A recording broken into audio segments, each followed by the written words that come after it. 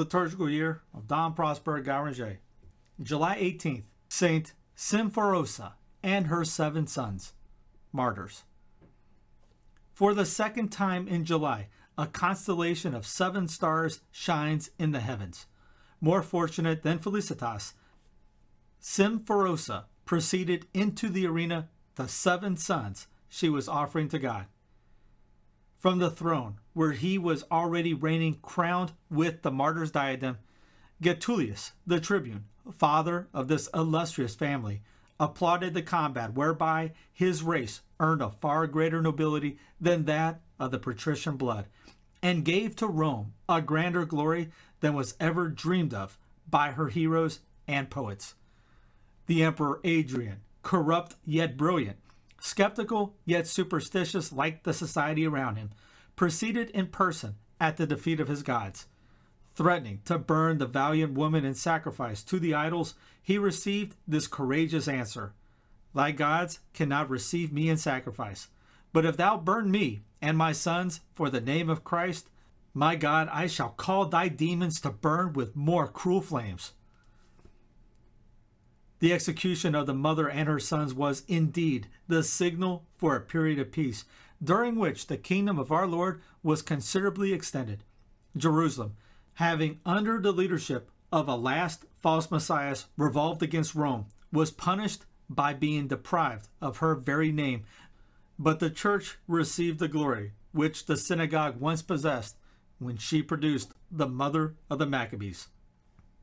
Another glory was reserved for this 18th day of July in the year 1870, the First Vatican Council, presided over by the immortal Pius IX, defined in its constitution Pastor Aeternus, the full, supreme, and immediate power of the Roman pontiff over all the churches, and pronounced anathema against all who should refuse to recognize the personal infallibility of the same Roman pontiff, speaking ex cathedra, that is, defining as universal pastor any doctrine concerning faith or morals.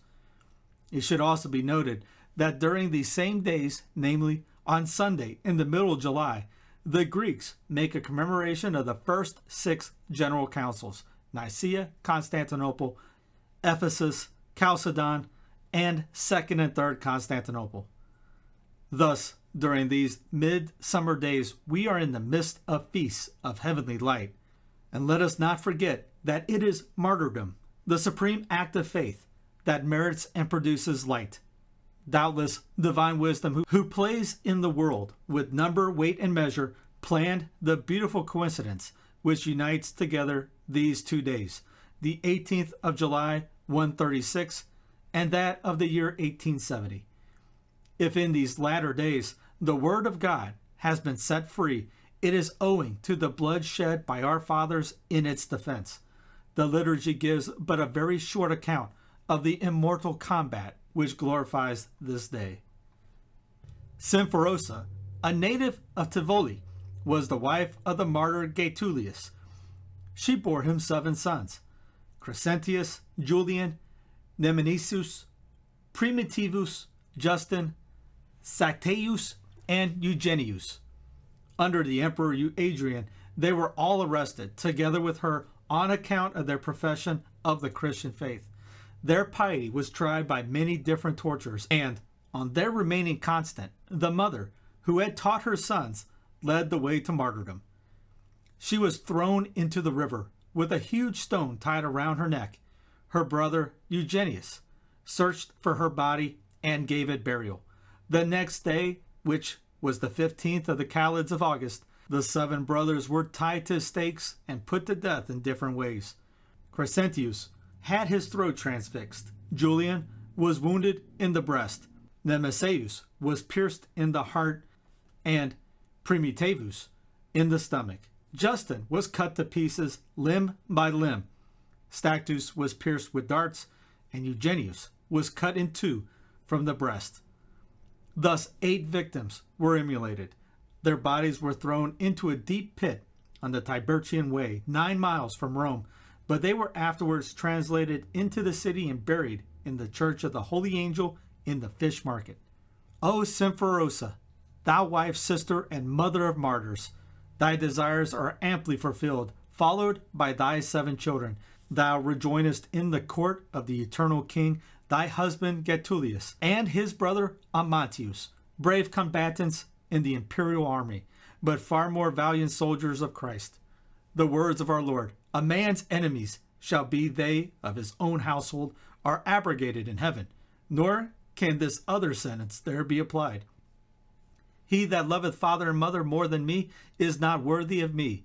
He that loveth son or daughter more than me is not worthy of me.